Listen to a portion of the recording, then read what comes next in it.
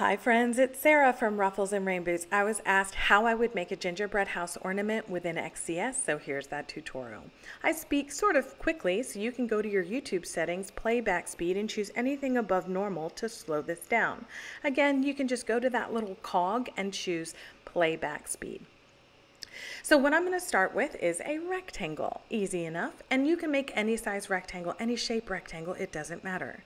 Then I go to the basic shapes menu and make a triangle. Now I will not be using the menu a lot for any shapes. I usually just use my computer keyboard. I'm using the unlock aspect ratio to change each of these shapes now. So I'm making the triangle a little bit squattier. I'll be making the base of the uh, rectangle a little bit shorter. And again, this is your personal preference. I am going to put everything to engrave so you can see it a little easier. I always recommend rounding off any of the turns where the laser will go, and that means not only these turns in the triangle, but also in the rectangle. So if you see the triangle all has these nice rounded edges, but our square needs some help or rectangle. Come up here, right here, and we're gonna round off these corners. Again, how much you put the value there is gonna depend on what you want. I'm just using two to do a small and slight little round. I'm gonna highlight both, horizontally center them, and now it's time to get building. I'm actually going to um, squash this down a little bit more because I'm going to hit R on my keyboard, add a rectangle again. That is the width of the base of the triangle. I'm going to round off those corners at the same measurement of two. And then I'm going to highlight the rectangle at the bottom and the house shape, and I'm going to align those to the bottom and horizontally center everything. All right, that looks pretty decent as a start. I'm going to zoom in by using Command or Control Plus, but you can use the uh, zoom at the bottom as well. I hit R on my keyboard because I want another rectangle. Again, I rounded those corners to two and set it to engrave before I positioned a chimney. You don't have to do this if you don't want to. It's just whatever design you want to make. It's all basic shapes. So now that we have our basic shape, I'm going to come over here to the canvases and I'm going to call this the elements.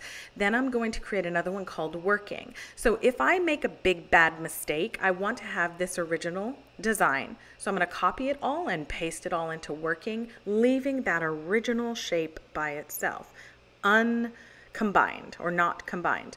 So now I'm going to highlight everything here and I'm going to combine it. see?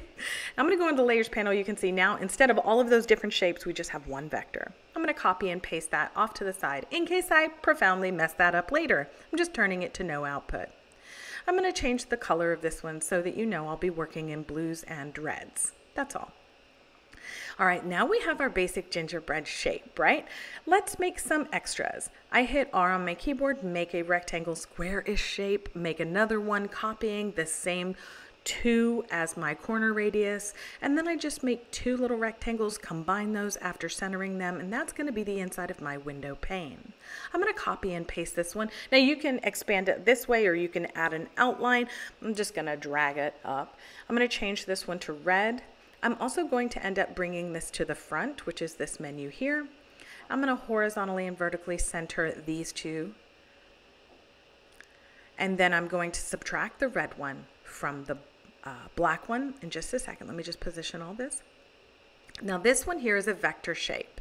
So you can see I'm going to mess with that in just a second. I'm just horizontally and aligning everything. Okay, so the very first thing, this cross is a vector shape and we are gonna lock it. You don't have to make it go away. It's just that we wanna only mess with the two squares and subtract the red one from the black one. Unlock the vector of the window pane select everything and combine it. There's our little window. You can adjust it, hold shift and adjust it, whatever. To make a door, I'm creating a rectangle with a corner radius of two, and then I'm gonna create a circle. And I'm just going to horizontally center both of those. Before I move this circle only up so that it creates a nice little rounded top door. This is a very basic design. You can make any design you want. I'm going to combine those two shapes, change it to engrave so you can see it a little better. There you go. And there's my door. And there's my window. Easy, right? So we're not done because right now we have a floating door, a floating window, and a single layer. So let's make another layer. I'm going to copy and add an outline. Okay, that's it. Add an outline. See that? We're going to hit confirm. Now, this is two pieces. This is not one piece anymore. Okay, if you dragged off one, um, let me get in a little here. I'm just zooming in so you can see it a little better. But you see, if you just drag off one, you have two pieces. Now, if you wanted to cut out the front from that outline, you can't. Watch. Oh, we don't do that. Yes, you do. Just change the outline to engrave. Change it to another color. You don't have to do this part, but you do have to do this part, which is move it to the back.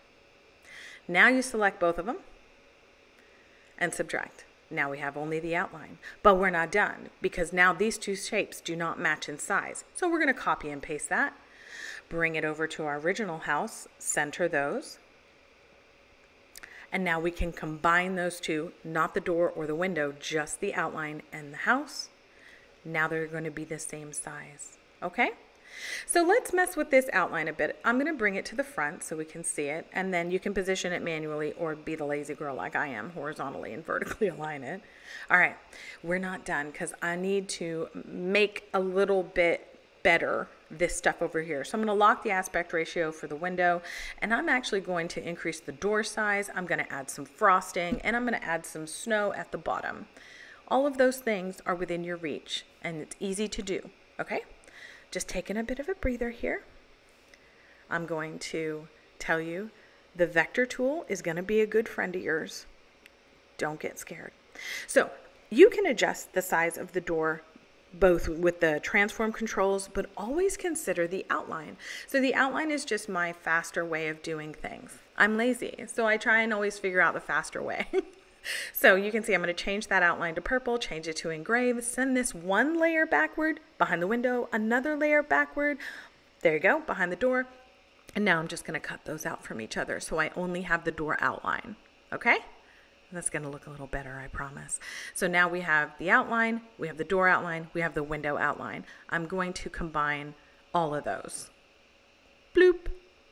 All combined. Isn't that nice? Now it's just floating. So let's give it some structure here, shall we? I'm going to come over to the vector tool. It's the one that looks like a fountain pen. You're going to just start clicking. If you've never used this tool, it's going to go wrong. Just know that it's going to go wrong. I'm going to make a little jagged edge here, stopping in the middle. You can see the blue line that comes up when you get to the middle. Now I'm going to end that shape and close it and hit done. Now I'm going to change the color, make it engrave so you can see. That doesn't look like it. But if you double click or hit the edit menu at the top and you start messing with these nodes, I'm just double clicking. There is a node menu up at the top. You can see every time I double click something, the little gray highlight on the nodes to the left of simplify comes up. And I'm just moving these nodes around so it looks a little bit more like frosting instead of jagged little, you know, cuts. See? Now, are we done? No, because our frosting is off the edge of our house. So let's fix that. I'm going to double click again and move just this one node a little bit in. Okay. Is it perfect? No. Are we going to fix it? Yes. So in order to fix it, we're first going to copy it. We're going to flip it horizontally, move it to the right, and we're going to make sure those two pieces touch and they are aligned. And once they are, right up here, see that? We can combine them by selecting them both and hit Unite Combine. Now, I know it's messed up. Give me a second. I'm going to select everything and connect it. Now, why? Because I want this part over here to be adjusted. The eye doesn't like this. So we're going to go into edit node. Even though we didn't make this out of nodes or the vector tool, we can edit the nodes inside of any single shape. Okay, so that's all I'm doing. This is going to make it look a little easier on the eye. You can even delete little bump offs like this. And now our hearts are happy. See how easy that is? Basic shapes. see, when I hover over that blue, you see all those little light blue things? You're going to go in and do what's called node cleanup. When we combined all of our pieces, there were some empty pieces, so we're just going to highlight and delete everything that doesn't belong in the center. We want one single cutout. That's all. Hit done. And now that piece is ready to go.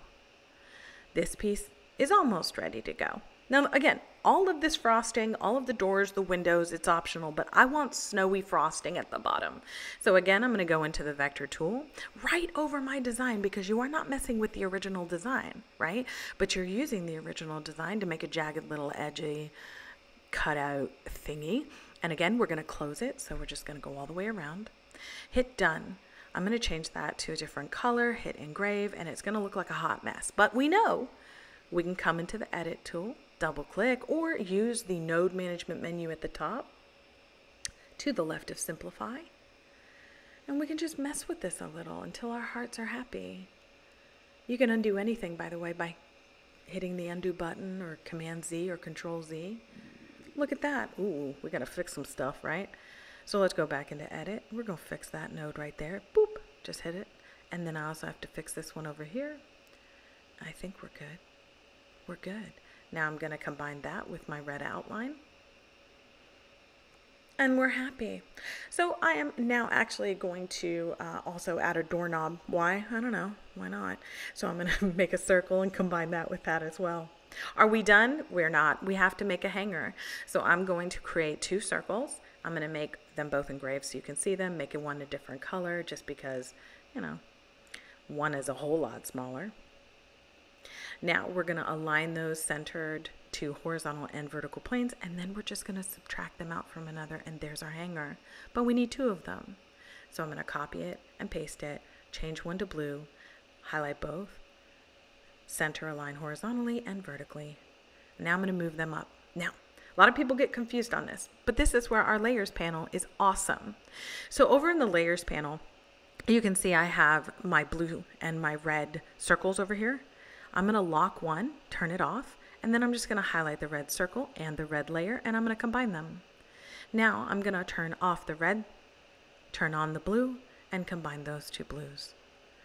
Now we have two layers, a red and a blue. That's all we need. And now our ornament is done.